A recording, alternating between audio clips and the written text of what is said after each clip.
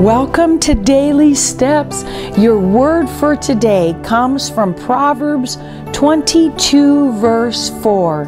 It reads, The reward of humility and the fear of God are riches, honor, and life. Wow. So don't think weakness or meekness is bad. No, it's the fear of the Lord and it's humility, and He loves it. Oh, saying, Yes, Lord, I will do whatever you need.